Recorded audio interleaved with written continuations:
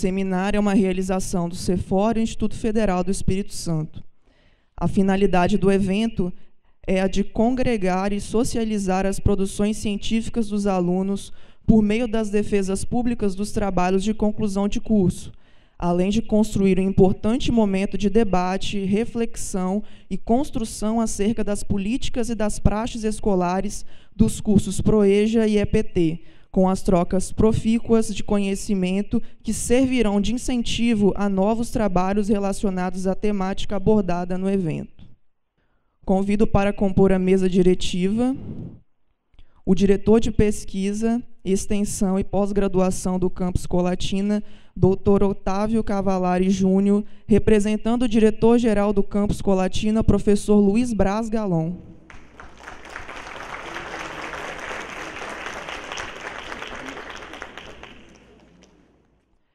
Convidamos o diretor-geral do campus Vitória, professor Ricardo Paiva.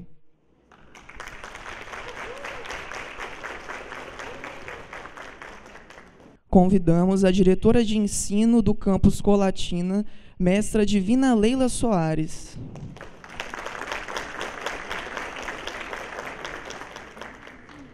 Convidamos também o diretor de pós-graduação do IFES, doutor Rony Cláudio de Oliveira Freitas.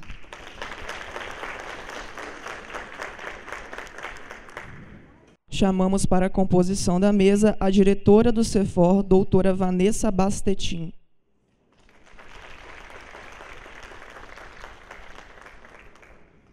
Convidamos a coordenadora da Universidade Aberta do Brasil, doutora Daniele Veiga Carneiro Soderman.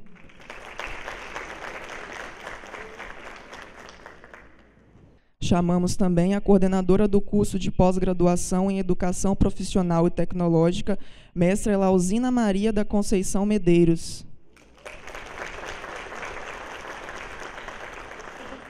Chamamos também a diretora de pesquisa do Campus Vitória, professora doutora Márcia.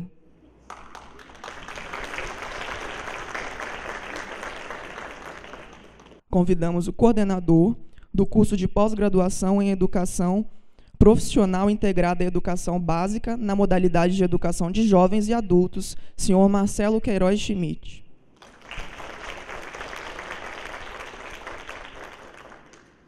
Convidamos a todos, todos os presentes, para, em posição de respeito, ouvirmos o hino nacional brasileiro e, em seguida, o hino do Instituto Federal do Espírito Santo.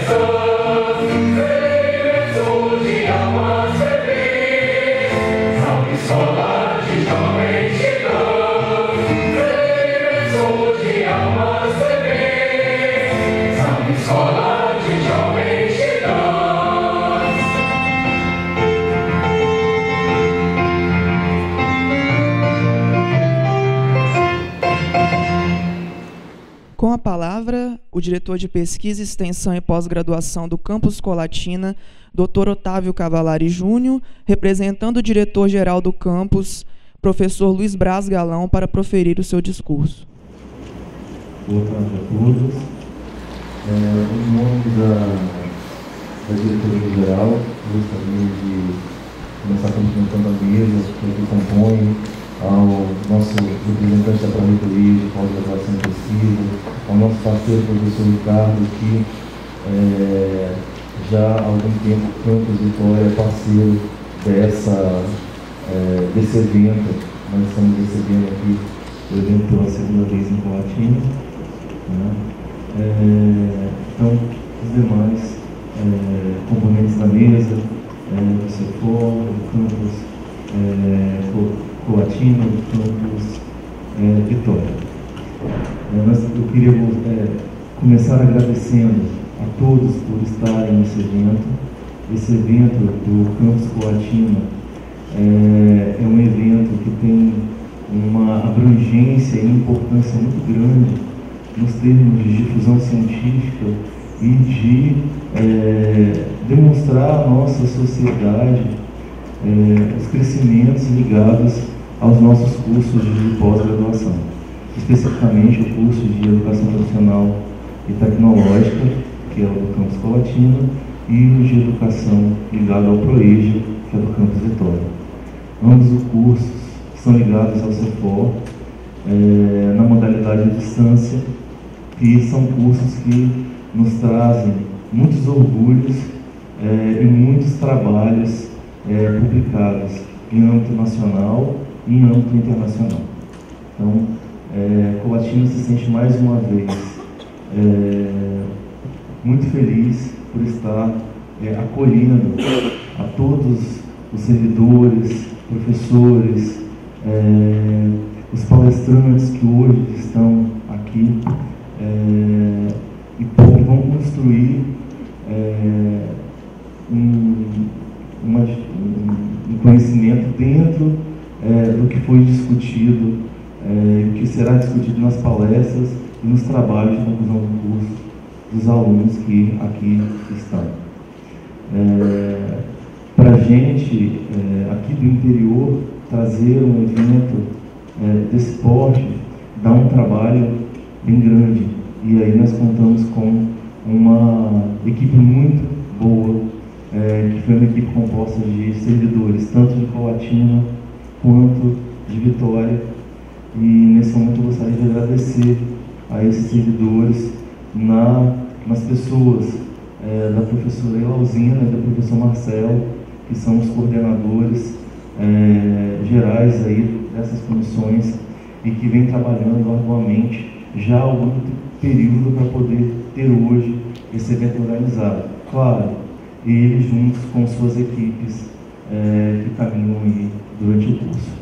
É, obrigado por mais esse, essa parceria é, em relação às equipes e campos. E mais uma vez agradecer ao professor Ricardo pela parceria é, lá do campus Vitória e da professora Vanessa com a parceria lá do CEFOR e professor Runes com a parceria da Pró-Reitoria de Pesquisa e Pós-Graduação. Tenham todos um bom evento. É, mais uma vez, obrigado pela presença.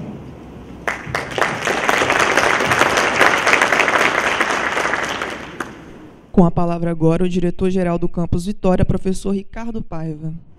Boa tarde a todos, alunos, servidores, que a maioria são de alunos né, do IPES, servidores e nossos colegas professores convidados, a professora Suzana e o professor Leôncio, e aos colegas que estão compondo a, compondo a mesa. Hoje, professor Leôncio, a gente falava de Vitória para cá, da identidade dessa instituição. Essa mesa que está composta aqui tem a professora Divina, eu e a professora Ilalzina, que não somos ex-alunos da escola técnica do Cefet ou do IFES. O restante, todos os outros passaram pela, por, essa, por essa escola. Então, são todos ex-alunos que hoje estão compondo a mesa. É, e por incrível que pareça, né, muitos tomaram o rumo aqui das exatas, da engenharia, e hoje estão é, colocados em situações que predomina a educação. Né? Que bom né, que, que vira, a cabeça muda e vai enxergando outro, outro aspecto. Ah, esse evento, né, o, talvez seja o evento é, de maior vulto dentro do Instituto Federal. Né? É, podemos falar que o teatro não está cheio, porque o teatro é muito grande, né, o, seu auditório é muito grande. Mas em termos de, é, de participante, é, por ser uma, uma organização interna, um seminário interno, ele né, não, não se divulga muito o seminário, mas ele talvez seja o maior evento que tem, que são é, um seminário ligado à educação. Dentro de uma instituição eminentemente tecnológica, o maior evento que tem é um evento da educação. E pode ficar maior ainda. Eu vou colocar um desafio para o Rony, é, porque hoje nós já temos, além do, do, do EPT e do ProEjo, nós já temos já mais uma especialização em Barra de São Francisco, em Pedagogia da Alternância. Temos o, cursos ligados à área de educação, ah, o EduCimate, o Prof. Letras, o mestrado, mais de o mestrado de Humanidades surgindo. Então, hoje nós já temos condições de fazer um evento muito grande, muito grande, ligado à área ensino, à área educação. Podemos escolher para que lado pender aí a, a, nossa, a nossa balança. Então, nós hoje, dentro de uma, dessa instituição que busca né, uma identidade, é, a, o caminho da educação está sendo muito forte, está sendo muito forte dentro da, da nossa instituição. E eu fico feliz né, que hoje o pessoal do ProEja o Marcelo me deu a notícia que mais ou menos 90 alunos estão chegando à conclusão do curso. Né? Então, o que se perdeu pelo meio do caminho tá, foi muito pouco, se tratando de um curso à distância que às vezes as pessoas entram para fazer e não têm aquela disciplina tá, para fazer um curso à distância e para fazer um curso à distância. Tá? Tem que ter muita disciplina para orientar também a gente tem que ser bem disciplinado, senão não existe um tal de coordenador que puxa a orelha da gente a todo momento. Ah, eu confesso a vocês, eu sou orientador e por umas três vezes tá, eu não tenho um puxãozinho de, de orelha. Tá, então, olha, aí a plataforma, olha, cadê o relatório? Tá? Então tem que é, ter muita disciplina mesmo. Mas depois eu aprendi e ficou mais fácil a conseguir chegar ao final. Então, é, fico feliz tá, de estar aqui, de estar trabalhando numa instituição que tem pessoas que confiam, pessoas que queiram fazer pela educação e pessoas que querem aprender. E esse aprendizado termina com uma pesquisa e esse conhecimento produzido durante esse tempo será agora socializado por meio do CD, do painel, do pôster os alunos estarão apresentando e nós também, enquanto professores do, do curso.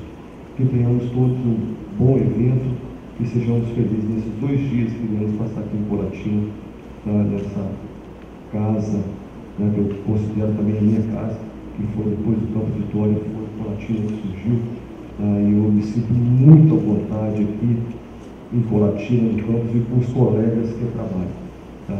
E à medida que vão saindo, os colegas vão aposentando, vão chegando outros que aderem perfeitamente ao espírito tá, do, do IFES e continuam trabalhando, dando prosseguimento a essa instituição. Então, um bom evento a todos. Muito obrigado.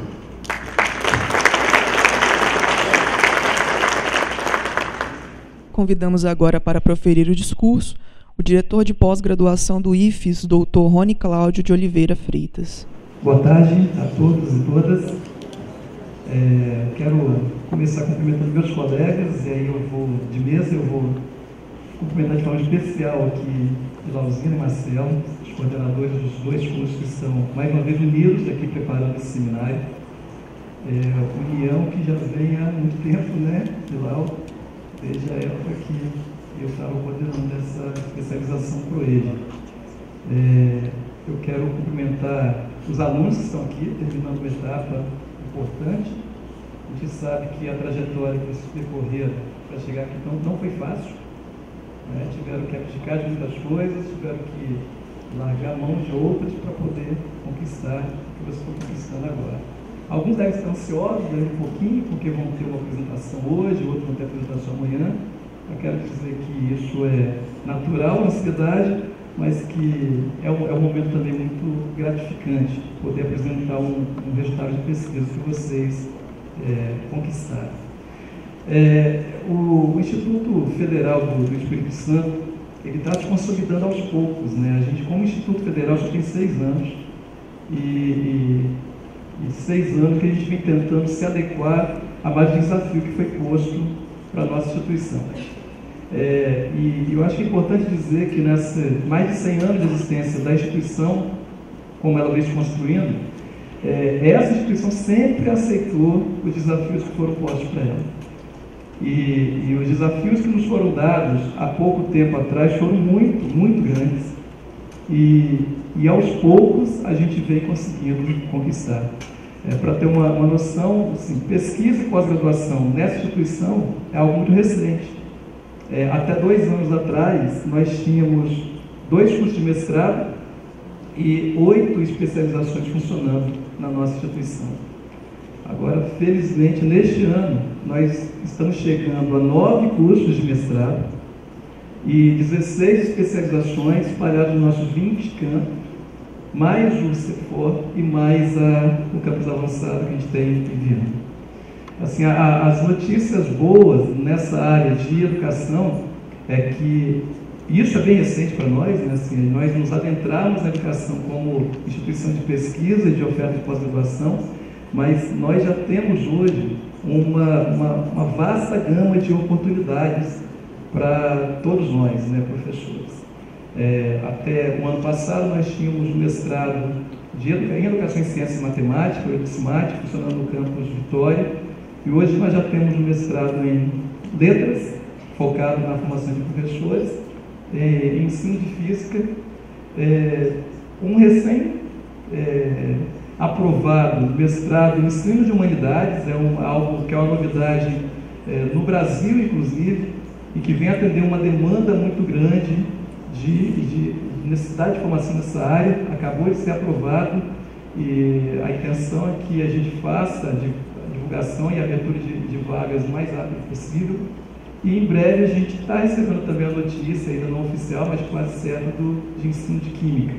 Então a gente está varrendo uma, uma gama de, de possibilidades e de necessidades que o nosso Estado é, até então era muito carente, continua sendo muito carente. A gente tem é, estudado, tem tentado desenvolver um projeto e se tudo correr bem, né, Ricardo, em breve nós vamos ter um mestrado em Educação Profissional e Tecnológica. E é um mestrado que é, o que tem sido feito nessas duas especializações foi tem sido essencial para que a gente possa alcançar. E se tudo correr bem, assim, a gente em breve vai ter boas notícias também nessa área. E vocês estão terminando, seja especialização ProEja, seja especialização em ETT, vão ter oportunidade de avançar um pouco mais nessa, nessa formação é, quero finalizar fazendo um convite para vocês, é, nesse, nesse, caminho que o IFES está trilhando de é, se tornar uma instituição reconhecida de pesquisa, a gente é, conseguiu, depois de, de, um tempo estruturando, criar nossa revista científica, vocês estão vendo aqui, IFES Ciência. Nós fizemos o lançamento dela tem um mês e meio só, a gente fez o lançamento apenas do primeiro número, que já está disponível aqui, é uma revista de caráter multidisciplinar e os trabalhos que vocês desenvolveram na pesquisa de vocês são muito bem-vindos para publicações aqui na revista. Então, vou fazer um convite para que vocês entrem no site da revista, para que vocês possam ver a estrutura que a gente tem colocado lá pedindo de, de artigo, que vocês, por favor, façam submissão dos trabalhos de vocês para que a gente possa avaliar, para que a gente possa ter um espaço aqui também que, que seja é, é, que a gente contempla as pesquisas na área de educação profissional e de ProEd. Tá? Quero de novo parabenizar aos alunos, aos orientadores, tutores, professores, as equipes de coordenação envolvidas nos cursos e a gestão também dos campos, porque é, é a gestão que dá esse suporte, esse apoio que precisa e também o CEFOR na, na pessoa da minha amiga Vanessa. Tá bom? Obrigado, gente.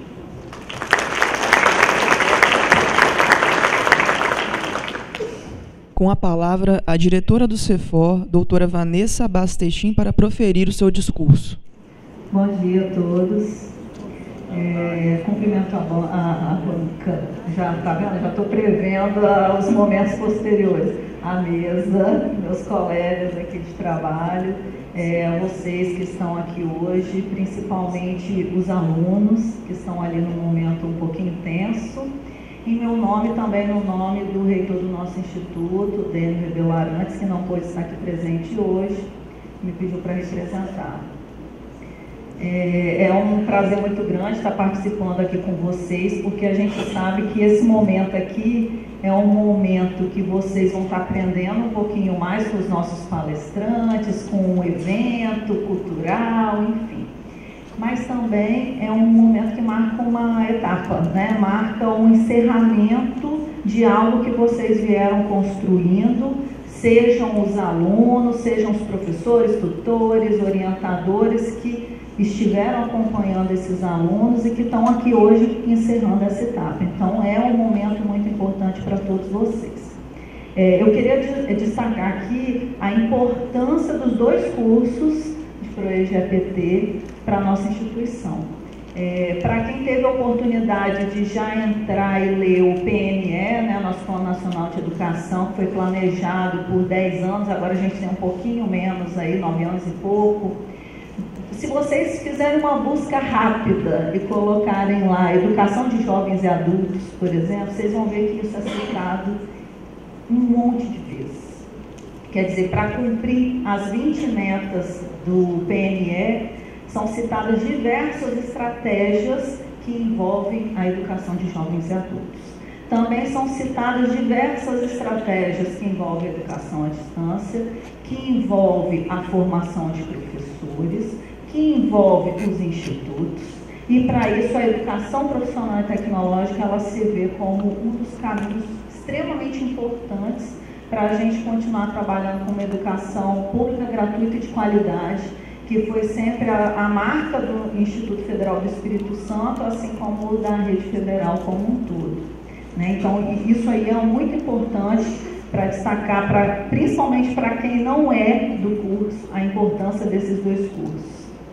É, queria destacar também, já destacaram os colegas, mas a, a participação do CEFOR nesse contexto, agora falando meu nome, não mais em nome do reitor, é, o CEPOL tem sempre trabalhado em parceria com todos os campi, é, principalmente na oferta de educação à distância, curso na educação à distância, mas a gente tem ampliado isso ao longo dos anos uma ampliação que não tem sido fácil, porque os campos estão trabalhando hoje não só com educação à distância, mas também com o apoio do uso de tecnologias na educação presencial, no 20% à distância, com cursos semipresenciais. Então, hoje é uma vastidão de possibilidades que a gente tem dentro da instituição. E, como citou o Rony, são 21 campos e um centro de referência que é o CEFOR é muita gente para dar conta, mas nós temos tentado sempre estar trabalhando em parceria com nossos colegas, com os, com os outros campos, porque a gente tem um intuito muito forte que é de levar uma educação pública gratuita de qualidade, mas não só para quem está nos grandes centros, mas também para pessoas que estão, às vezes, em regiões mais remotas e que, de uma outra forma, talvez não teriam acesso a esse tipo de educação, a cursos tão importantes para a nossa sociedade como esses que vocês estão hoje aqui concluindo. É, bom, espero que vocês, alunos, aproveitem é, esse momento hoje do evento, que vocês possam usufruir muito é, do resultado destes cursos que vocês estão aqui finalizando, porque vocês não estão finalizando um curso numa instituição qualquer, né? É, modéstia à parte, né, nós temos uma instituição que, apesar de ser nova enquanto IFES, é uma instituição de 1910, é igual Botafogo, né? desde 1910. São 105 anos de história, sou botafoguense não, tá? Só fiz um comentário. Mas, é, estou de branco e preto ainda, né? Estou ajudar. Mas é, desde 1910, então são 105 anos é, de, de história da nossa, da nossa instituição. E é uma instituição que está aí, ó, ficou em quinto, fica né, cara? Em quinto lugar, como as melhores escolas públicas do Brasil em nível médio e ficou em 42 no ranking das melhores universidades do Brasil, de acordo com aquele índice geral de cursos do MEC sendo que na parte de curso superior nós somos muito novinhos ainda, estamos engatinhando, né? quer dizer, nós somos muito antigos na parte do técnico, na parte de ensino médio. E na parte de educação superior nós estamos há pouco tempo e ainda assim estamos lá entre é, as 50 melhores.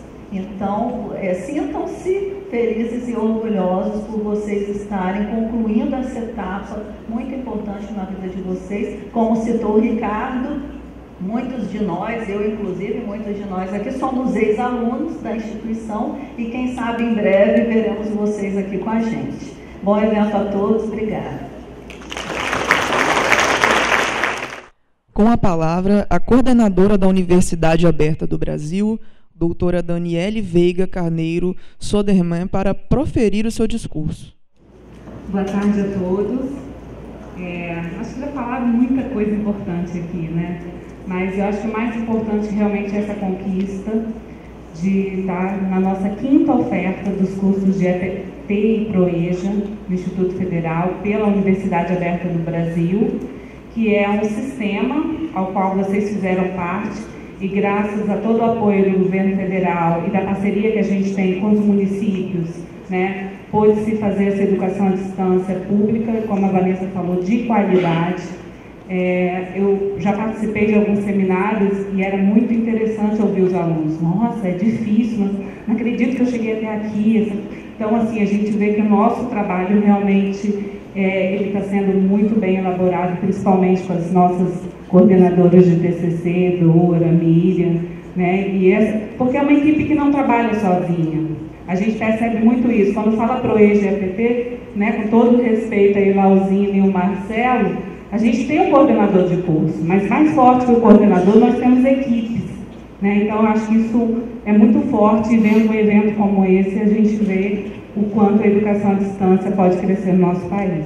Tá? Desejo um bom evento a todos, né? vão ser dois dias. E parabéns. Eu sei que alguns estão ansiosos, né? mas a banca com certeza vai ser um sucesso.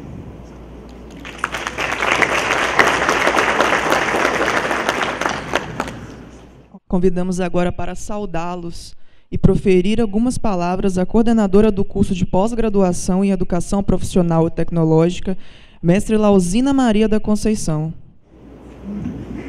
Para mim tem que ser mesmo algumas palavrinhas.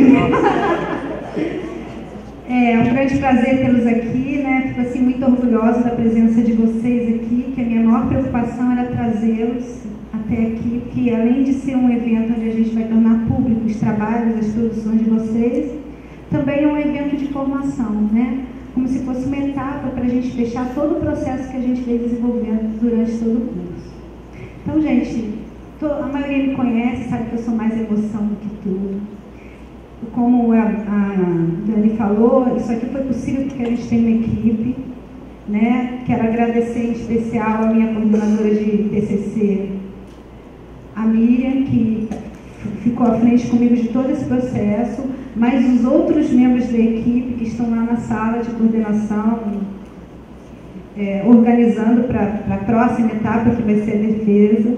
Então, essa ideia do Seminário Integrado das Especializações para o EGPT foi assim, uma coisa que começou logo no início, está dando certo, e é muito legal para mim, muito gratificante ver o trabalho de vocês, todo mundo olhando e tornar público essas coisas, né? Porque o que, que acontece? Às vezes a gente produz tanta coisa boa e ninguém tem conhecimento.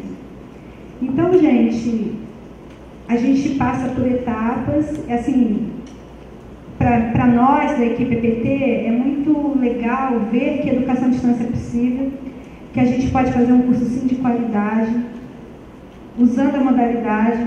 Muitos daqui, a gente tem depoimentos que a minha vida mudou depois que eu fiz o curso EPT. Eu vi que educação à distância não é brinquedo, eu estudo muito mais, porque realmente o aluno ali é o principal da cena.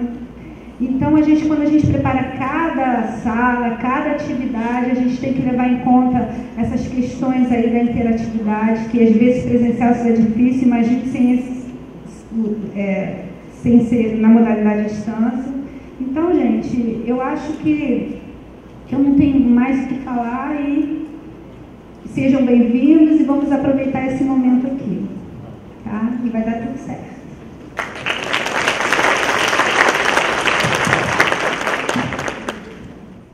Por fim, convidamos para proferir o seu discurso o coordenador do curso de pós-graduação em Educação Profissional Integrada à Educação Básica na modalidade de Educação de Jovens e Adultos, mestre Marcelo Queiroz Schmidt.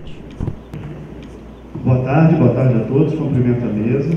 Nome grande esse, né? a gente gosta carinhosamente de falar Proeja, especialização Proeja, e é com muito carinho que nós recebemos todos aqui. Primeiro, gostaria de agradecer ao campus, mais uma vez está recebendo o evento nosso. É muito bom fazer um evento em Colatina.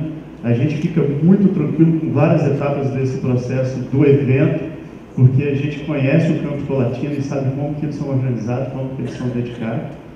Agradecemos muito a, assim, a gente, é, é, nós somos um, um, um curso muito feliz por ter uma parceria com a EPT. É, a parceria com a EPT engrandece muito o nosso curso, não só pela coordenadora, mas pela equipe da EPT.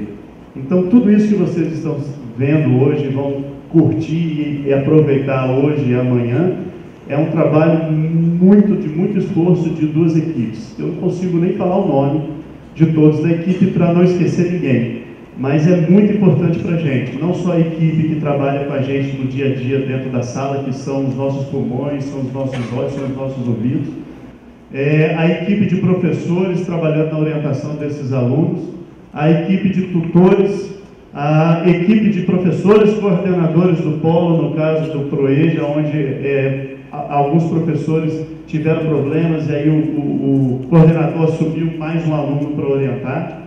A gente agradece muito o esforço de todos vocês. É, com relação ao curso, a gente sabe o quanto que é difícil e complexo para vocês poderem fazer esse curso. Vários dos nossos alunos, não só do Proeja como do EPT, trabalham três turnos, são professores, trabalham de manhã, trabalham de tarde, trabalham de noite, quando no trabalho o quarto turno, que é chegar em casa e ainda dar conta da família, né? Então todos nós sabemos disso, tentamos fazer um curso aonde o link lá funcione, porque se você ligar e clicar e o link não funcionar, fica todo mundo nervoso, né? É, e a gente tenta fazer isso tudo e só a equipe que eu e Losina temos é que faz esse curso funcionar dessa maneira. A gente dá os parabéns para todos vocês que chegaram até aqui.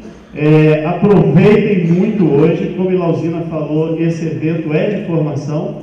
É, Proeja apresenta os TCCs nas salas, as salas estão abertas para quem quiser acompanhar a defesa, mas eu peço ao aluno que fizer a defesa na sala, pegue o seu banner, leve no corredor, exponha e fique lá do lado esperando um outro colega chegar e perguntar como é que foi a pesquisa e tudo mais.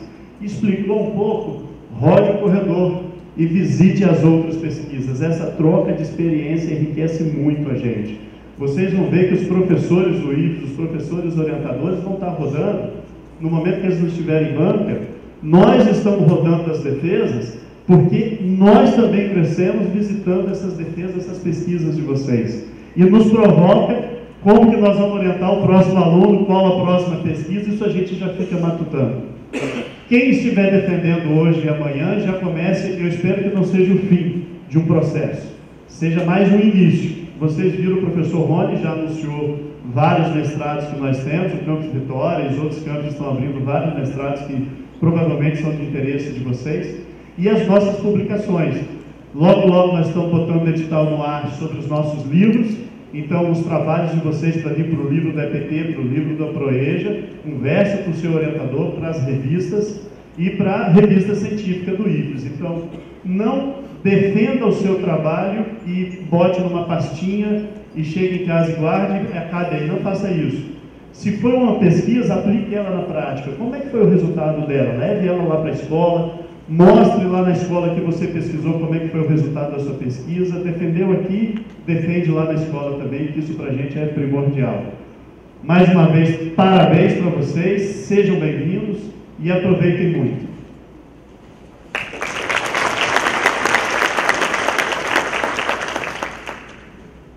Registramos e agradecemos a presença de todos os alunos, professores, orientadores, servidores e demais autoridades.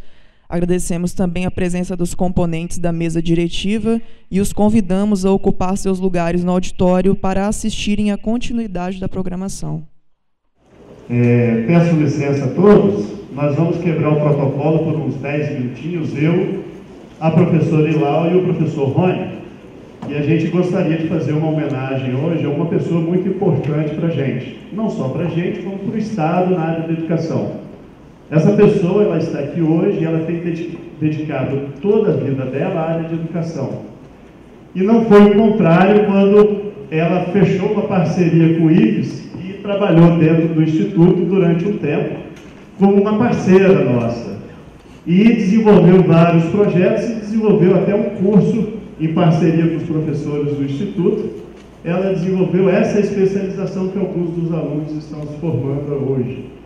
E aí, é, eu vou passar um pouquinho para o Rony, depois passo um pouquinho para a Ilau, para a gente poder fazer homenagem para essa pessoa. É, bom, tem, tem algumas pessoas que têm é, compromisso com o próximo. Eu acho que uma pessoa que se dedica à educação mesmo sem visar algum retorno financeiro, não que isso não seja importante, mas dedica parte do seu tempo, parte do tempo que poderia ter de outra forma, ao próximo, eu acho que merece todo o nosso respeito. É, e essa pessoa que o, o, Marcelo diz, que a gente homenageia hoje, é, como ele já falou, iniciou esse processo de construção do, curso de especialização Proeja há cerca de nove anos atrás, trabalhando durante quase cinco anos como professora voluntária do Instituto Federal Espírito Santo. É, a gente tem o privilégio de hoje tê-la oficialmente no nosso quadro como colega é, e eu gostaria muito que, que todos é, ajudassem e batendo muitas palmas para ela quando nós anunciarmos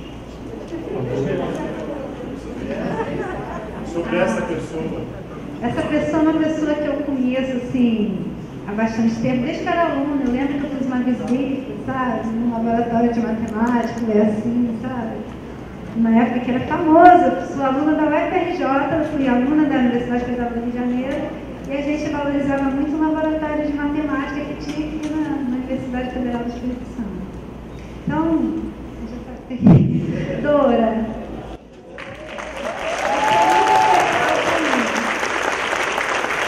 Ela, a professora Dora foi convidada a se dedicar ao setor. Ela está assumindo na coordenação do CEFOR e está saindo por empréstimo ao CEFOR, ela está saindo da pós-graduação Proeja. Mas aí eu estou avisando a ela que ela está indo por empréstimo oficial, oficialmente. oficiosamente ela continua com a gente sem soltar nenhuma trelinha, pra, viu?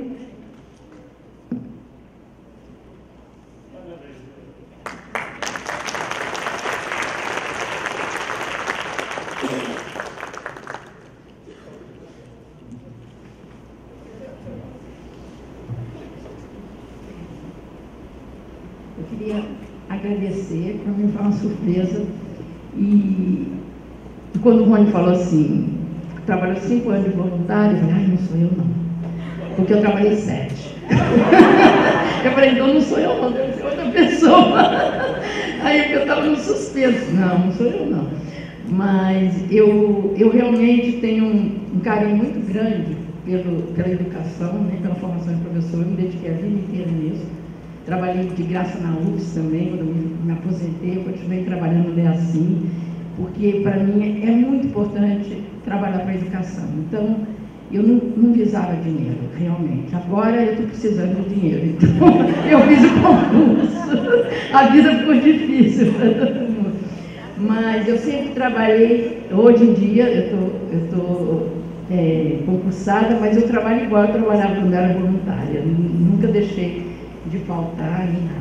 Mas eu queria dizer o seguinte, isso acho que veio da, da família que eu tive, mineira, né? 13 filhos, um ajudava o outro, e eu acho que tem muito a ver com a, com a, com a, com a é, visão de mundo, com a vida que a gente teve.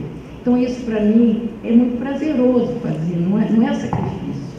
E eu quando fui chamada, eu fui, eu comecei minha vida profissional no IFES, como professora de matemática do IFES, fui coordenadora, fui professora do Jardim, de vários de vocês lá. E aí depois eu, eu fui para a UFES. Mas eu fui para a UFES porque o, eu queria sair do mestrado e naquela época o IFES não tinha essa política e eu fui para a UFES para poder fazer um mestrado. Aí eu depois eu fiz mestrado, depois que eu me aposentei eu fiz o doutorado. E, e, e aí o IFES, quando soube que eu estava aposentada, um colega, o Antônio Henrique, eles me chamaram iam montar o curso de matemática e também iam montar essa especialização ProEja. E aí eu ajudei a montar a especialização ProEja, coordenei essa especialização até 2010. Aí quando o dele falou, agora vamos fazer a distância. Eu falei, não, aí eu não dou conta não, porque não tenho tanta vivência na área tecnológica, eu ensino o professor, meu colega Rony, para orientar. Eu lembro da conversa lá na sala do Nene sobre isso. E aí eu continuei como coordenador do TCC, continuei trabalhando, né? Então, para mim é muito prazeroso ter, estar aqui e receber essa homenagem, porque trabalhar com educação, trabalhar com informação do professor é minha vida. E eu não sei fazer outra coisa. Então, todo mundo fala, Dura, por que você não se aposenta? Vai para o shopping, vai andar na praia, vai. Eu não sei. Eu gosto de estar com o professor. Eu gosto de estar na sala de aula. Eu dei aula, dou aula no mestrado lá, para mim é um momento muito importante. Então, quer dizer, essa homenagem eu aceito de bom grado, mas ela é minha vida. Ela não, não foi nenhum sacrifício, não foi nada mais que eu fiz. Eu fiz por mim. Porque para mim é importante que o Brasil tenha uma, uma educação de qualidade. Né? E aí eu desejo a todos que aproveitem esses dois dias, porque nós, a gente trabalha bastante para que isso ocorra. Cada um de nós dá um pedacinho muito importante para que a gente tenha momentos como esse. Então, muito obrigada.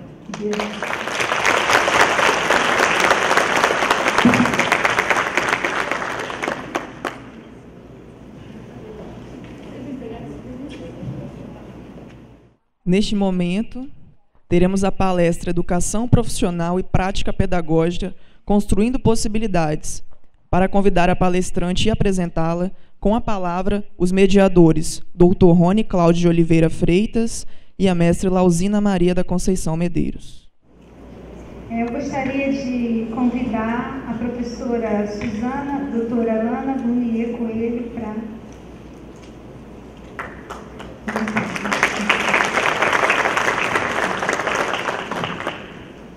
Gente, eu vou fazer um breve histórico, falando um pouquinho da formação da professora Suzana e em que áreas de pesquisa ela costuma atuar. A professora doutora Suzana Lana Burnia Coelho possui notório saber nas discussões pretendidas com a temática do seminário, políticas, currículos e cotidianos escolares no ProEG EPT, como pode ser comprovado no currículo Lattes apresentado de forma resumida a seguir professora doutora em Educação pela Pontifícia Universidade Católica do Rio de Janeiro, com pós-doutorado na Universidade Complutense de Madrid, graduada em Pedagogia e mestre em Educação pela Universidade Federal de Minas Gerais. Seus interesses de pesquisa e atuação, especialmente na formação de professores, se referem aos temas didática e prática de ensino, educação profissional e tecnológica, juventude e trabalho tem ampla experiência em formação continuada de professores em elaboração, implantação e avaliação de projetos em escolas públicas de educação básica e profissional. Professora associada, aposentada pelo Centro, aposentada pelo Centro Federal de Educação Tecnológica de Minas Gerais, onde atuou em atividades de ensino, pesquisa e extensão. Se a professora quiser complementar alguma coisa, fica à vontade. Nesse momento, eu passo a palavra à professora, que irá proferir a palavra, cujo tema será Educação Profissional e Prática Pedagógica, construindo é, possibilidades. Muito obrigada, Lausina. Boa tarde a todos e a todas os presentes é, nesse evento tão emocionante e aterrorizante. é um monte de terror e pânico, e de, daqui a poucas horas, muito prazer, estou livre. Os maridos vão ter mulher de volta, os filhos vão ter mãe, pai, né? É um prazer enorme para mim estar aqui nesse evento, porque é uma formatura de especialização formando professores. A minha vida toda não chega aos pés da Dora, não, mas eu também tenho feito formação de professor de escola pública. Ah, é onde eu me sinto melhor. Apesar de aposentada, continuo fazendo e com muita alegria. E fui coordenadora da especialização ProEja em Minas e Goiás. Depois em Minas, que Goiás desmembrou e é um espaço de muita alegria, é um espaço que, na nossa experiência lá de Minas, muito formativo né, do, dos professores das redes municipais, estaduais e federal também. Então, o lugar que eu falo é esse. Sou professora de didática nos cursos de graduação, então a vida inteira eu me preocupei com a sala de aula, com essa relação do a construção do aprender do aluno, quais são as encrencas que estão envolvidas é, nessa relação do aluno com o conhecimento, no contexto escolar principalmente. E como a gente pode, junto com o professor, pensar e equacionar essas encrencas, que não são poucas e que elas são crescentes nos últimos anos devido às mudanças que a sociedade vem passando devido e essas mudanças vêm impactando a juventude, vem impactando os meios de comunicação, vem impactando a família, o lugar da autoridade, o lugar do, do professor, inclusive, das instituições, o lugar do conhecimento, uh, que agora está muito mais aqui nos, nos dedões né, do que na sala de aula, enfim. Isso tudo arrebentando em cima da cabeça do professor, salve-se quem puder. Então eu gostei muito das palavras da Dora e vou começar a dar o meu pontapé inicial com a ideia dela de ser feliz fazendo o que faz. Então a Dora falou que eu não fiz por dinheiro, eu fiz porque por mim. Eu adorei isso. Ela não falou nem eu fiz por amor. Podia ser, ia ser lindo também. Mas eu adorei. Ela fala assim: eu fiz por mim. Porque tudo que eu posso desejar para os professores é que consigam ser felizes alguma boa parte do tempo na sua sala de aula. Porque se a gente não for feliz dentro da sala de aula, a vida fica muito difícil. É enxaqueca, gastrite, é, agora tem um negócio gravíssimo, como é que é o negócio? Fibromialgia, que é uma dor generalizada em tudo, ou seja, tá ruim o troço tá ruim. E aí na sala dos professores a gente ouve falar de carbo não sei o que lá, de ciclo não sei o que lá, benzoato de que que que, que popopô, é tudo taja preta, antidepressivo. Gente, nós temos que sair dessa. Não dá. Não dá. A gente tem que ser saudável e tem que ser feliz. Então é pensando nisso que nós vamos conversar, tá? Pensando que no magistério a gente tem que ser saudável e tem que ser feliz, que nem a Dora, minha ídola, já era, ficou mais ainda. Então é, é baseado nisso que eu preparei essa fala para vocês. Tem mais slides do que nós vamos dar conta de apresentar, porque eu sou assim, eu fico é, estressada do tempo acabar e o pessoal fala assim: pô, mas essa mulher veio aqui falar só isso. Então eu sempre preparo a mais. Aí no meio eu vou dando uns pulos, já falei metade antes, na hora que chega o slide eu já falei aquilo e vocês não fiquem preocupados, pessoal, os engenheiros ficam estressados, porque eles planejam e fazem direitinho, né? Eu sou incapaz. Mas eu aprendi muito com os engenheiros do Cefet a pensar em Excel, que eu só pensava em Word. Então, a primeira coisa que nós vamos passar passando, porque nós já estamos todos careca de saber, é que a educação a nossa sala de aula, a sala de aula de cada um de vocês, não acontece no paraíso, acontece no mundo real. Então, quando a gente for pensar em estratégias para a sala de aula, nós temos que pensar em estratégias que funcionem nesse mundo real, com esse aluno real que não respeita a autoridade, que o pai e a mãe saem de casa de manhã e voltam de noite, que vive na televisão, no celular. Então, o país que a juventude tem muitos dramas e desafios, as perspectivas de futuro estão cada vez menores, mais complicadas. Antigamente isso era só para a classe baixa, agora chegou na classe média. Né? A promessa da escola de inserir no mercado de trabalho hum, já era. Este argumento não cola mais. Aquele argumento que nosso pai contou para nós, Estuda para ser alguém na vida. Esse argumento não cola mais. Porque está cheio de gente estudada aí no Brasil, na Europa, no mundo inteiro, que não está conseguindo lugar no mercado de trabalho. Eu conversei com a moça ontem, devolvendo o carro da Localiza. Ela tem curso superior, está lá no balcão da Localiza, alugando carro. Aí eu falei, qual é a sua perspectiva? Ela, hum, hum, hum, ah, vou fazer uma pós-graduação. Falei, para quê? Ela, não sei. Então, o tal do cursilismo, né, que é um fenômeno que está pegando muita juventude também. Espaços de reflexão cada vez mais reduzidos, a família tem cada vez menos diálogo em casa por causa do tempo, né, o tempo que os pais têm com os filhos. As carreiras, você entra numa empresa, não quer dizer que ah, o nosso pai falou, ah, eu trabalhei 30 anos na Belgo Mineira, desculpa dar exemplo de Minas.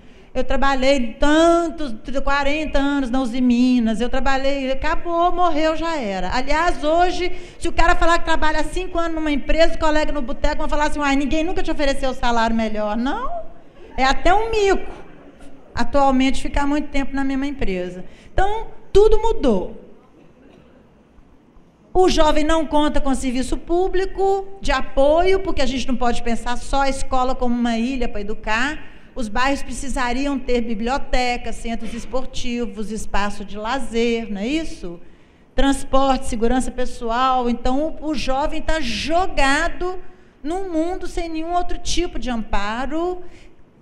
Gostemos ou não da, da ideia, a escola é praticamente o único espaço educativo para um grande número de jovens que não têm acesso a outros grupos e espaços sociais é, de convivência. Além da família, obviamente, né, e da vizinhança.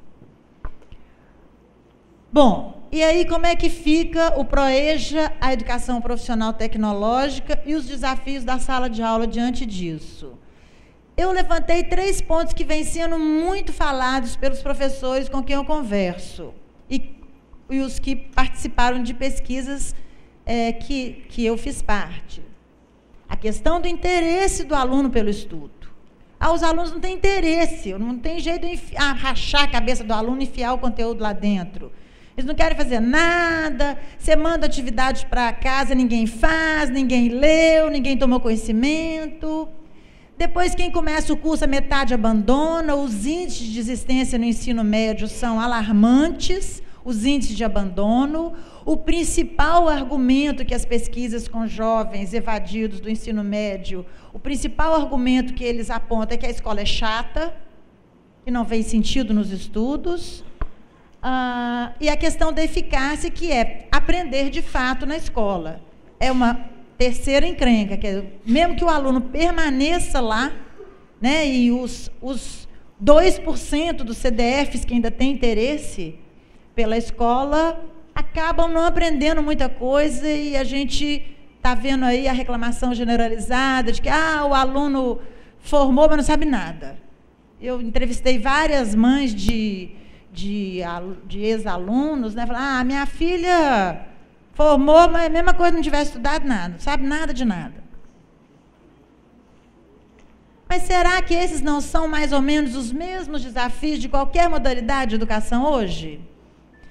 Claro que a gente tem especificidades na educação profissional, a questão da qualificação técnica, alguns cursos que, que a aplicação daquela profissão demanda risco de vida para o técnico e para a população, saúde, enfermagem, é, grandes energia de alta potência, etc. Né? Nós temos especificidades do PROEJA, porque tem essa questão profissional e ainda tem as outras faixas etárias envolvidas, adultos e, e terceira idade, né? na EJA. Mas esses desafios não são tão específicos assim, exclusivos do PROEJA e da educação profissional. E aí eu vou propor uma lógica de raciocínio que nós vamos utilizar ao longo da, da nossa conversa aqui, que é a gente pensar o projeto político-pedagógico ou o currículo de um determinado período de tempo com o qual, durante o qual a gente trabalha com um determinado grupo de alunos. Então, quem aí é professor do ensino fundamental vai pensar né, no segmento que trabalha, que nós ainda temos lá as séries iniciais, as séries finais, não é isso? ou quem é professor de ensino médio, ou quem é professor de educação profissional, ou os que também atuam em ensino superior, vão pensar no número de anos que aquele segmento, aquela turma passa com um determinado grupo de professores. Então, nesse caso aqui, eu tomei um curso de três anos, ok? Pode ser um ensino médio, um proeja de três anos, enfim. Então, o aluno chega da sociedade, a sociedade fortemente pressionada pelo mercado de trabalho, e esse aluno chega no primeiro ano. Ora, esse aluno chega da sociedade com as características e a formação cultural, ética, moral, espiritual, cognitiva que as condições que a sociedade lhe deu proporcionaram, para o bem e para o mal. Sociedade esta pressionada pelo mercado de trabalho, que hoje quer mais, mais, mais e mais o trabalhador. Não basta ter ensino fundamental, não basta ter ensino médio, tem que ser proativo, tem que ser empreendedor, tem que saber trabalhar em equipe, tem que falar a língua, tem que ter atendimento com o público, tem que saber dar sugestão na empresa, tem que ter conversa, porque agora é grupo de controle de qualidade, tem que saber fazer faxina, tem que ter norma de segurança do trabalho. Mas o salário do técnico hoje no Brasil em dólar é a metade do que era o salário do técnico no Brasil em dólar na década de 80. Mas o técnico hoje está mais qualificado, as demandas são muito mais complexas, mas a remuneração dele vem caindo na maioria das áreas. Tem áreas que são exceção, a exceção sobe, baixa, a construção civil, civil melhora, baixa, a eletrônica, a eletrotécnica melhora, abaixa, enfim.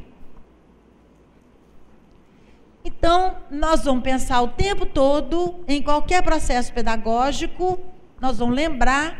Eu estava falando com o Léo aqui, eu não vou, ele falou, eu quero ver, tem muito tempo que eu não te ouço. Eu falei, não tem novidade nenhuma. O que eu estou fazendo aqui é uma organização das discussões clássicas do campo pedagógico. Uma ou outra termo mas são as discussões clássicas, as reflexões clássicas, como um momento de síntese para vocês que estão concluindo um curso de formação. Então, quem são os alunos que cada um de vocês recebe, que cada escola de vocês recebe? Neste ano pode ser um grupo, ano que vem pode ser outro. Ah, houve uma, uma uma desapropriação de uma área aqui perto, veio um público novo morar no bairro, a escola está recebendo um outro público, é outro público. E, por outro lado, quer dizer, quem está entrando aqui nesse ciclo, né? Que tipo de aluno nós recebemos e quem vai sair desse ciclo, que tipo de pessoas nós queremos formar. e o que, que é possível fazer no período de tempo que nós temos. Isso tem que ser discutido diante de cada grupo concreto de alunos. Não adianta ter a priori. Então, uma coisa que eu venho defendendo cada vez mais como impossibilidade são currículos pré-definidos com rigidez. É impossível você estabelecer um currículo que prevê tais e tais e tais e tais itens, né? o, o índice dos livros de matemática pré-definidos antes do aluno entrar na escola, antes de você saber que turma que você tem, que grupo de professores você tem, que você vai conseguir cumprir todos os índices de todos os livros didáticos dos X anos que você vai ter com aqueles alunos ali. A gente sabe que isso não é realidade, a gente faz dentro da sala de aula mais ou menos mocadamente o que dá para fazer, dá uns pulos aqui, emenda uns negócios ali e junta com outra disciplina ali quando tem uma professora que eu simpatizo com ela, mas enfim, se a gente passa a assumir isso de uma maneira mais tranquila, mais flexibilizando mais a cabeça da gente, a gente pode planejar de fato um ciclo com este grupo concreto de alunos que está chegando para mim aqui, que seja mais interessante para eles e com isso seja mais eficiente. Então, a primeira questão é, do ponto de vista desses alunos que estão na minha sala de aula, por que será que eles estão saindo de casa e vindo aqui estudar? Por que será que os alunos de vocês saem de casa e vão para a escola? Ah, o menino veio aqui só por causa do Bolsa Família. O menino vem aqui porque para encontrar os amigos, se quer ficar em casa vai ficar preso. Ou o menino vem aqui porque para zoar os colegas, só vem para a hora do recreio. Ou tem alguma coisa interessante acontecendo na escola, ano passado tinha, esse ano não tem. Vem por quê? Essa é uma pergunta para a gente fazer para os alunos sistematicamente e é uma discussão para a gente fazer para ele, e é uma pergunta para a gente fazer para a gente mesmo, porque é aquele argumento: se você estudar, você não vai conseguir nada no mercado de trabalho. Nananina, não. Não cola mais. Nós temos que construir outros argumentos. É claro que sem o estudo, você não tem nenhuma chance no mercado. Mas o estudo não garante mais uma condição razoável no mercado, ganhar o salário mínimo necessário hoje, segundo a Constituição Federal, que é de R$ 2.448. Sabiam?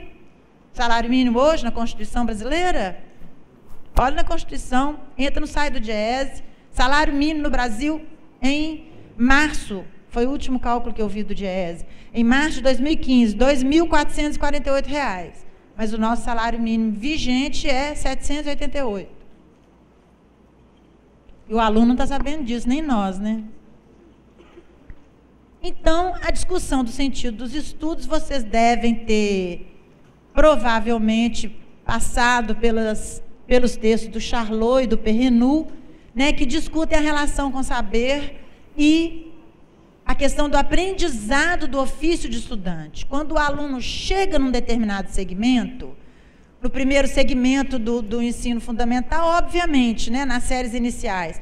Mas nas séries finais, a gente acha que ele já devia chegar com esse ofício construído. Mas as condições da, da escola pública brasileira não estão favorecendo. Nem só a pública, não, viu, gente? Bota a privada nisso também. Ah, no ensino médio, hum, igualmente. Os alunos deveriam chegar no ensino médio com ofício de estudante construído, mas não estão chegando. Na verdade, meus colegas da pós-graduação, do mestrado, reclamam que os alunos nos chegam no mestrado sem o ofício de estudante consolidado. Capacidade de leitura, de interpretação, de escrita, de escutar uma palestra e tirar as ideias básicas dela e aprender alguma coisa naquele momento, que não é fácil aprender numa palestra, né? A gente ouve se diverte em algumas, cochila em outras e vai embora. Daqui uma semana já, ah, aquela fulana é interessante, aquela outra é muito chata. O que, que ela falou? Ah, sei lá, um tanto de coisa, super legal, gostei muito. Mas o que, que ela falou? Ah, falou lá da sala de aula, mas falou o que da sala de aula? Ah, um tanto de trem lá, pô, super legal. Na hora que você souber, vai lá ver. Ficou o quê? Que nem as aulas da gente, né, gente? uma, uma, uma lembradinha dessa discussão da relação com o saber, né? que é o que vai garantir o interesse do aluno, o envolvimento e necessariamente a aprendizagem. Não adianta levar o cavalo para a beira do Rio Doce e obrigar ele a beber se ele não tiver com sede. Todo mundo aqui conhece essa parábola, né? Clássica do magistério. Não tem jeito de fazer beber um cavalo que não está com sede. Não tem jeito de enfiar conhecimento na cabeça de uma pessoa que não está interessada naquele assunto. Esse assunto não me interessa, não estou afim. Aí a pessoa explica, dá exemplo, conta piada, assim, ah, amanhã tenho que ir no supermercado, está faltando leite. O menino vai pensar em coisas muito melhores, né? O mamada fulana, os bíceps do Beltrano, né? E você está lá. Então, a questão de construir o interesse do aluno é uma questão crucial em qualquer processo de aprendizagem. E aí, a construção desse interesse, segundo a discussão da construção da relação com o saber, se dá primeiro no aluno se localizando no seu tempo de vida. Eu saber quem eu fui, quem eu sou e quem eu pretendo ser. Rever o meu passado de uma maneira consciente. Então, aquelas estratégias de histórias de vida, né? os memoriais, com auxílio de uma leitura crítica, nós temos que nos preparar para fazer isso, que as licenciaturas não nos prepararam para isso. Chamar pessoas de fora da escola que possam nos ajudar a fazer isso. Antropólogos, psicólogos, e depois que a gente vê uns dois ou três fazendo, a gente pega a manha e a gente começa a ficar independente para ajudar os alunos a trazer à tona as experiências passadas. E a maioria dos nossos alunos, se eu estou errada, a maioria dos nossos alunos são de classe trabalhadora, não são, gente? A maioria dos nossos alunos vivem em condições de vida com bastante desafio e precariedade. Então, repassar essas memórias, filtrá-las, trazer à tona o que de bom e de bonito tem nelas, porque tem muito, tem muito de bonito. Por exemplo, uma, uma, um senso totalmente comum da classe trabalhadora, surpreendente até hoje, a quantidade de famílias da classe trabalhadora que adotam crianças. É um fenômeno recente na classe média, a adoção de crianças. Recentemente chegado na classe média. A classe trabalhadora adora, adota crianças desde sempre. Tem cinco passando fome, vão passar fome sete juntos. Tem problema não. Vem cá, esses dois estão largados para lá. Então, todo mundo de família humilde tem histórias bacanas para contar e tem coisas tristes para limpar, para entender que a culpa não é da família, que a culpa não é dele, não é? Que tem um contexto muito mais amplo que ocasionou aquilo. Então, trabalhar esse passado, construir uma identidade positiva, porque a pessoa que não tem uma identidade positiva, ela não dá conta de se aproximar do saber, porque ela tem medo do saber. Ah, eu não sou nada, eu sou uma merrequinha, eu não presto para nada, minha família é uma desgraça. A situação atual e o projeto de futuro. O projeto de futuro é uma discussão que vem perpassando bastante as pesquisas sobre juventude no Brasil.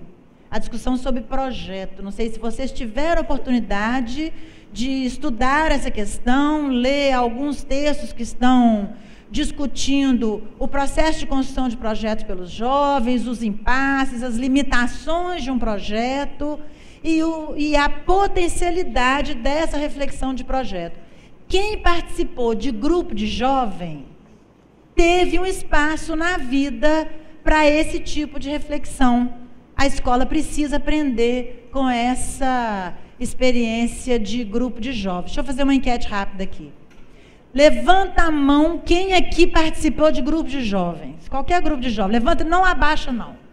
Agora, quem está na frente, dá uma olhada para trás, presta atenção. Agora vai abaixar a mão aqueles que acham que a experiência do grupo de jovens não fez muita diferença na construção do seu projeto de futuro. Abaixa a mão. Quem o grupo de jovens não fez muita diferença. Quase ninguém abaixou a mão. Vocês perceberam? Perceberam o que eu disse?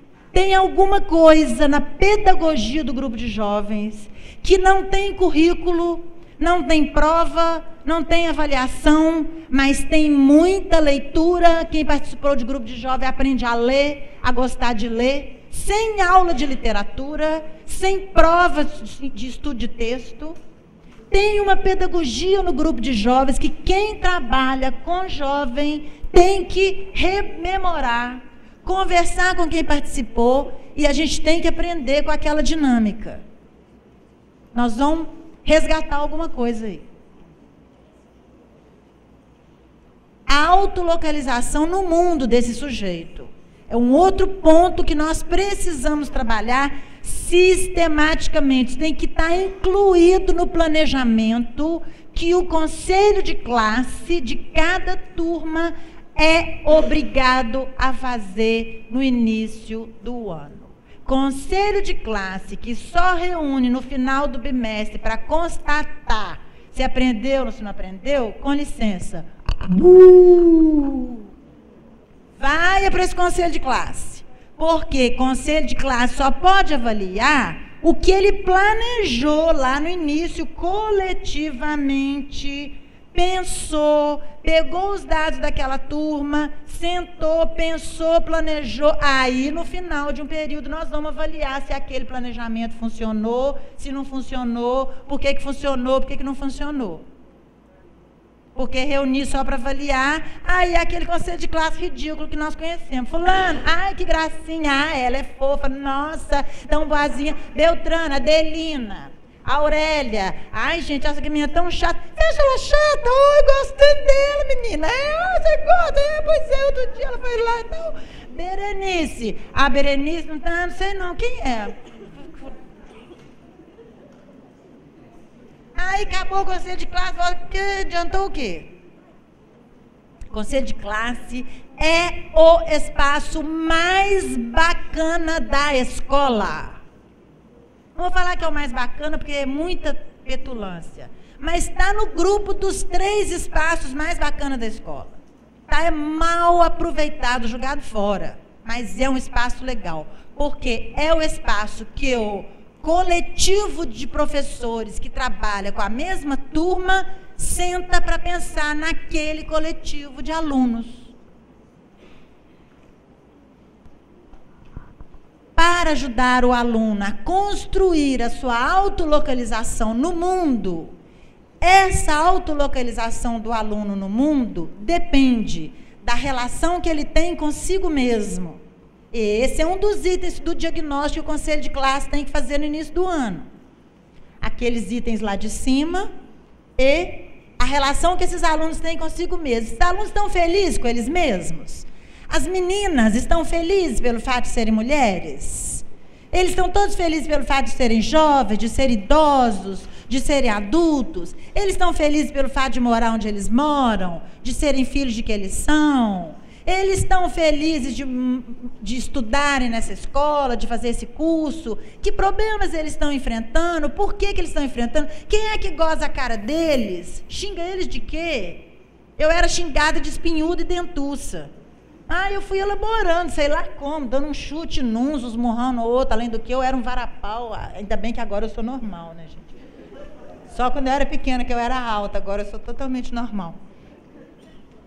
Então, essa questão autoestima, autorreflexão, autoconhecimento. Você está rindo de mim, né? Mas tá seis mulheres conversando assim, eu tenho que fazer assim para escutar. Porque eu nem ouço o que elas estão falando, que elas falam que é assim, no nível dos normais. Né? Relação com o outro. Como é que os colegas se relacionam entre si? Isso é fundamental em qualquer sala de aula. Isso aqui também eu estou falando o clássico do clássico, vocês estão careca de saber. Uma turma bem entrosada é uma turma que aprende melhor. E uma turma que tem muito conflito é uma turma difícil de construir aprendizagem. Todo mundo aqui sabe disso, não sabe? Só que nós estamos dando ainda pouco tempo para trabalhar essa questão. E enquanto essa questão não fica mais ou menos trabalhada, a aprendizagem fica comprometida. Aí entra o negócio do bullying, da violência, das discriminações todas, né? E a relação que o sujeito tem com o mundo. E aí entra a palavra principal da relação com o saber, a curiosidade. A capacidade de perguntar. Uai, que é isso? Uai, mas por que, que isso acontece assim? Pai, mas por que eu não posso sentar assim? Eu fico torta porque. Menino, senta senão você vai ficar torto. Ah, porque fico torto por quê? Faz mal para sua coluna. Por que faz mal para minha coluna? Na escola, quando um aluno de vocês pergunta, professor, o que, que, é isso aí assim que você falou agora? O que acontece? Seus alunos fazem pergunta durante a aula? Professor, o que está escrito ali? Aí você fala assim, ah, foi uma transferência da família. Professor, o que, é transferência? Que, que é a reação dentro da sala? Bu! Ô bu! Ô bu! Ô bu! Não é esse burro? Esse burro é no Brasil inteiro ou aqui não tem? Ô bu! Quer dizer, a escola é um lugar em que é proibido perguntar. Quem pergunta é idiota.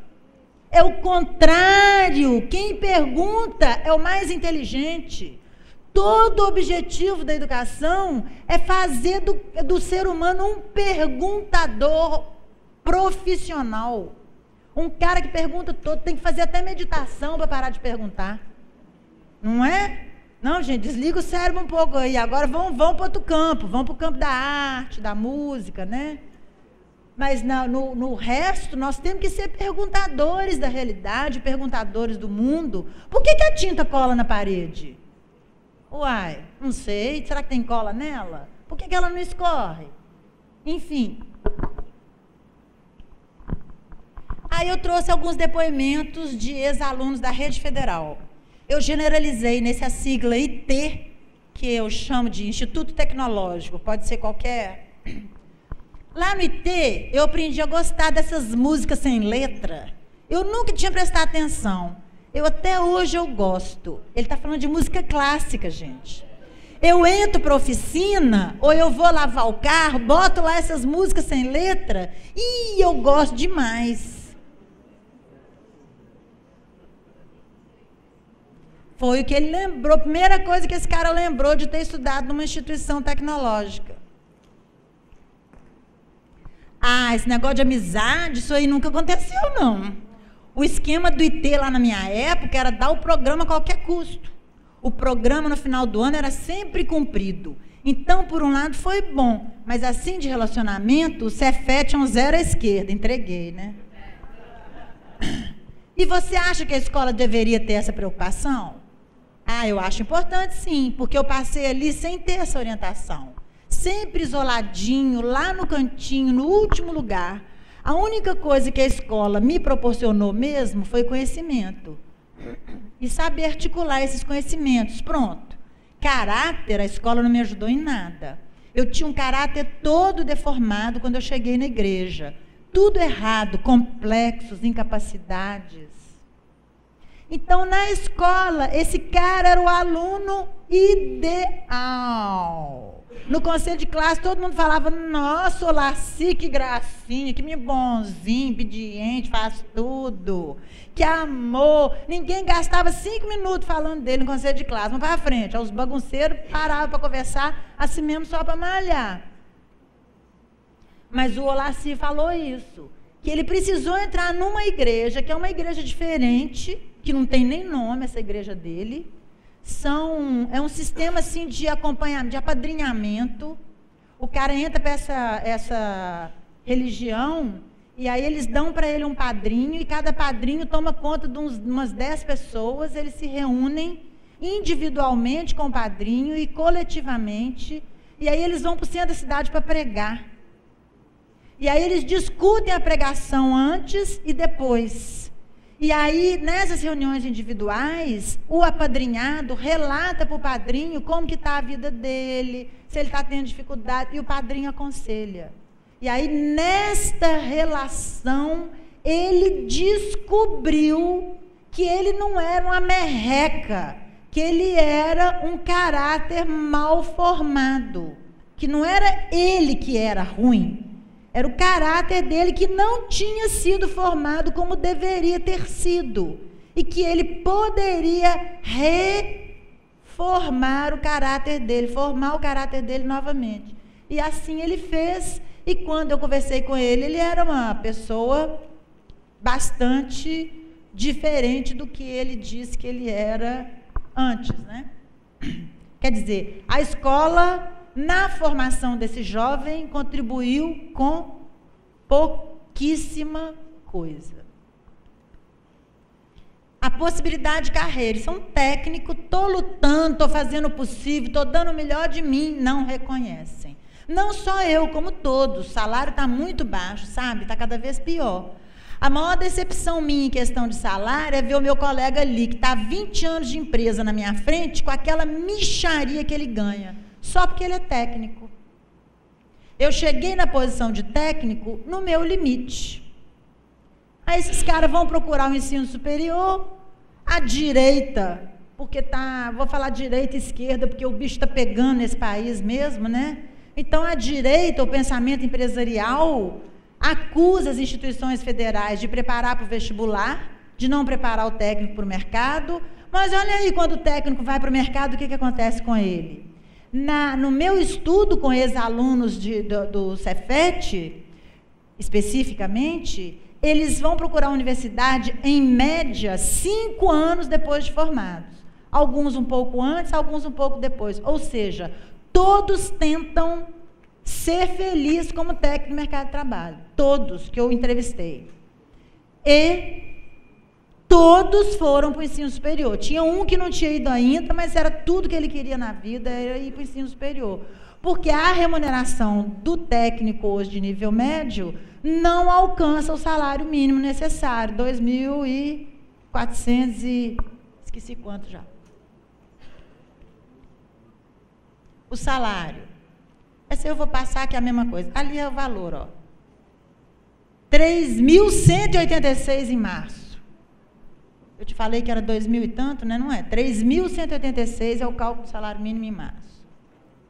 Esse é um grande diretor de uma, de uma, uma das fábricas da Celormital. Ele é técnico, ex-técnico, trabalhou na Celor como técnico, fazendo engenharia à noite, casado com filho, mas é um cara excepcional, foi premiado, foi aluno modelo na PUC, trabalhando o dia inteiro, casado, estudando à noite, um desses casos pirantes que você não pode nem tomar o cara como padrão. Mas olha para você ver o pensamento desse cara. Na hora que está dando lucro, tem que fazer hora extra, tem que trabalhar final de semana, mas na hora que cai um tiquinho de nada que podia aproveitar para dar um treinamento na área de segurança ou mesmo outros, o acionista, ele só pensa em demitir para salvar o lucro dele. Eu já cansei de argumentar, cansei não, que eu continuo insistindo, mas não tem jeito. Até pai de família vai para a rua. Então, esse é o mercado que os alunos vão encontrar, e quando eles formam, pelo menos na rede federal, eles saem achando que eles vão arrebentar. Ah, eu agora tenho um diploma de, do, do IFES. Ah, eu agora vou chegar lá. Enfim. O que eu estou querendo chamar a atenção nossa toda aqui é de como nós estamos é, entregando para a sociedade, naquele ciclo, né? Jovens ingênuos. Olha esse cara o que ele falou. Se tem base a coisa dessa. A coisa que eu achei mais linda foi a irmã do meu patrão que me falou. Ela disse que quem faz a estabilidade não é a empresa, é o empregado. Se eu mostrar que eu sou bom, que eu corro na frente, a empresa vai ser a primeira a me querer. Eu gostei muito, entendi muito bem. É isso mesmo. Idiota. Pato. Mané. Esse cara trabalhava no almoxarifado de uma empresa de instalação e manutenção de cabo de telefone, de, de televisão digital. ok? Uma Sky, uma net dessas da vida. Ele trabalhava numa xerifado. Como ele tinha aquela matemática maravilhosa, né, da, da, do Instituto Federal, ele começou a fazer uma estatística, porque antes ele chegou lá, o cara vai assim, ó, eu vou instalar 10 televisões hoje. Ah, então mais ou menos umas 5 mãos de parafuso, uns 30 metros de fio, umas 5 fita, fita isolante, uns não sei o que lá. Esse cara começou a fazer uma estatística e começou a contabilizar. Depois de um ano que ele estava lá, a empresa tinha por ano mais de 500 mil reais de lucro de material com esse cara. Sabe quanto que ele ganhava? O salário mínimo. Sabe o que, a empresa repassou para ele do ganho que ela teve? Zero. Aí, três anos depois, eu fui conversar com ele. Ele, cara, estava obcecado de tirar a carteira para ele sair do almoxarifado e virar instalador, porque o instalador ganhava 200 reais a mais. Mas tinha que ter carteira para ser instalador. E ele não conseguia tirar a carteira. E estava lá, lindo, achando lindo que a irmã do patrão falou. Nós colocamos esse débil mental no mercado de trabalho. Quantas porradas ele vai ter que tomar para ele abrir o olho e ficar esperto.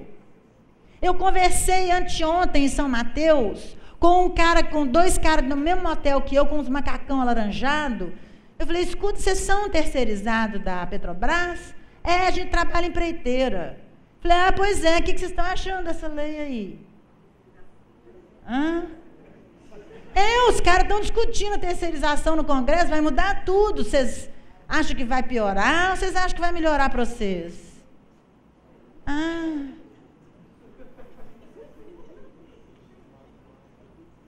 Não dá, gente, não dá. Os caras estão avançando. A classe rica precisa trocar o iate deles de 70 pés com um heliponto por um iate de 170 pés com dois helipontos. Porque quando eles fazem uma festa lá nas ilhas gregas e os convidados chegam de helicóptero e baixam um, o outro tem que ficar lá esperando tó, tó, tó, tó, tó, tó, tó, tó, tó, até a madame descer com as malinhas para a festa, para o outro helicóptero poder descer.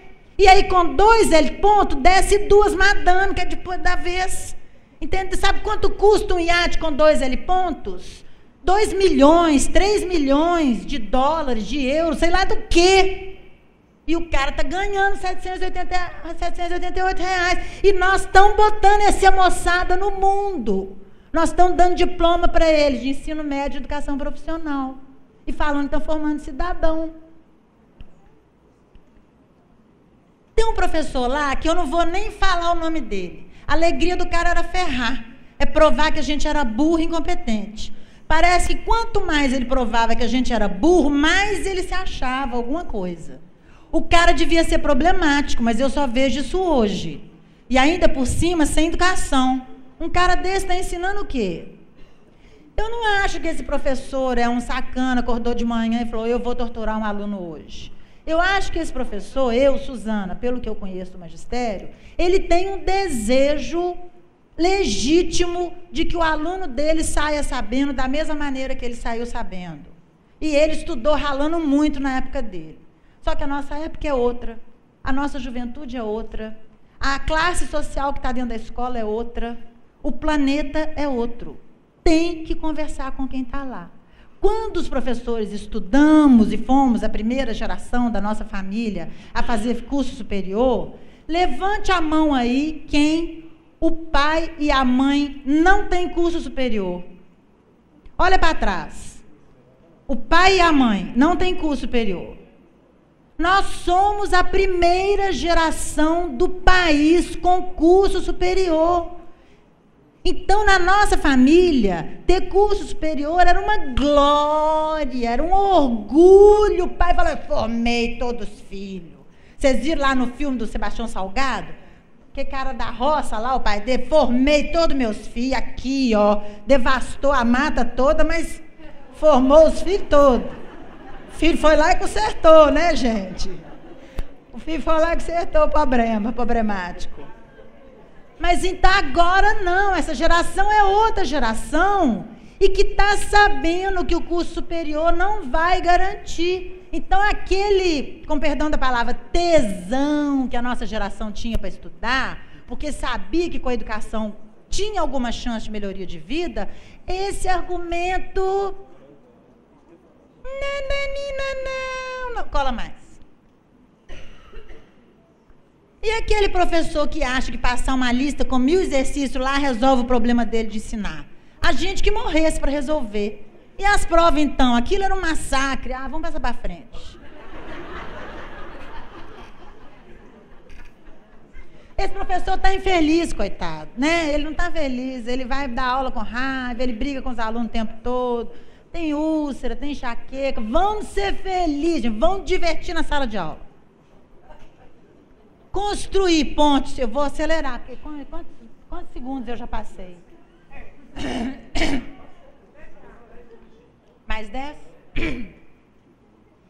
Construir pontes até o interesse do aluno. Se a gente estabelecer um vínculo com o aluno, a nossa vida fica mais fácil, a gente fica mais feliz, a gente sofre menos na sala de aula e a gente pode ter várias aulas de alegria e felicidade. Todas é impossível. Porque todas, nem na cama com o marido, com a mulher, a gente tem todas felizes, né, gente? Nada na vida é tudo ótimo, tudo lindo, tudo maravilhoso, mas a gente pode ter muitas aulas felizes. Conhecer sistemática, profissionalmente, organizadamente, antropologicamente, sociologicamente o perfil dos alunos e fazer uma análise do que que esse perfil de cada turma, porque varia de uma turma para outra, varia de um ano para outro fazer uma análise do que, que cada perfil de cada turma nos diz de como deve ser a nossa aula. Para isso, nós podemos usar enquetes. Eu fiz duas enquetes aqui, vocês viram? Rapidão. Não foi legal? A gente não viu uns dados geniais que a gente nem tinha. Se alguém falasse assim, pô, mas ninguém aqui tem pai e mãe com curso superior, eu falo, que isso, gente? Imagina todo professor. Enquetes grupos de diálogo que as pesquisas com juventude hoje estão utilizando muito. Então, eu vou botar na, no final um material do professor Juarez Dairel, que tem utilizado isso. Histórias de vida, trabalhar com histórias de vida, mas tem que estudar, tem que saber como é que é, para não ficar só aquela contação. Tá, mas se ficar só a contação, já vale vídeos, fotos, jornaizinhos, fazer com este material vídeos, botar o aluno para fazer um vídeo com a história de vida dele.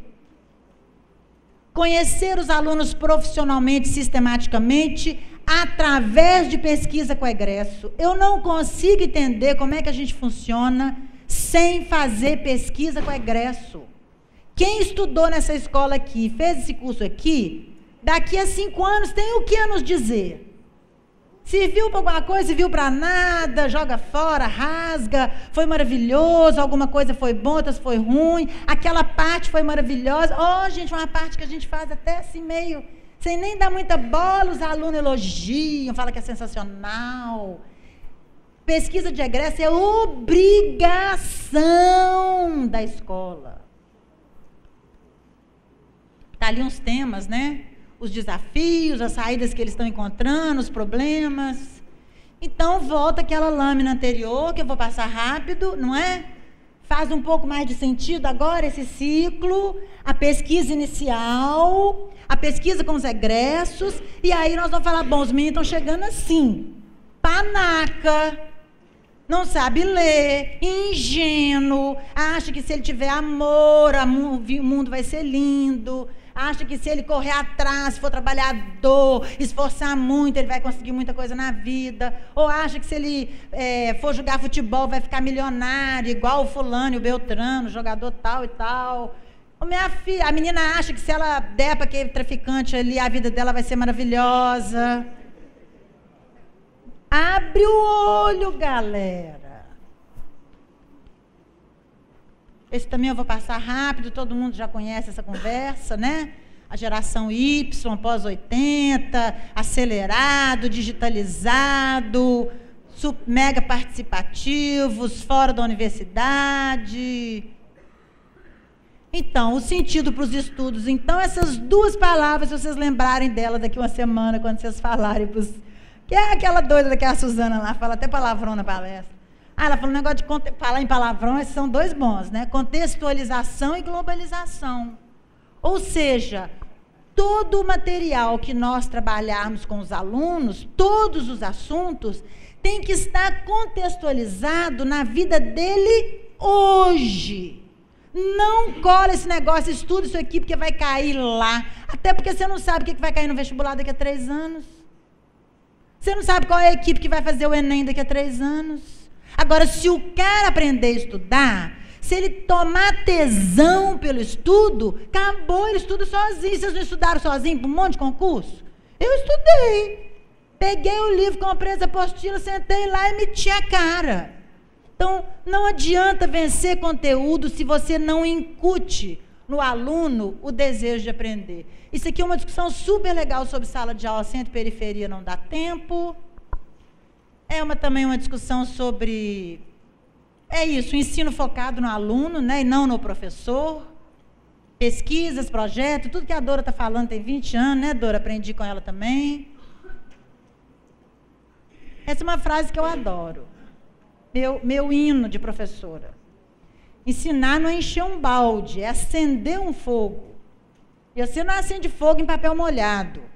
Né? Então, se o papel estiver molhado, você tem que planejar como é que você vai fazer. Eu consigo botar fogo no papel molhado, mas tem um processo. Não é só chegar lá e enfiar o fósforo e falar, ah, não, esse trem não pega fogo, não, apagou. Vou embora. Não, peraí, eu vou dar um jeito, vou botar no sol, vou dar uma esquentadinha, vou banar para o trem secar. Na hora que tiver quase no jeito, eu começo, faço um foguinho aqui na beira. Oh, eu chego lá.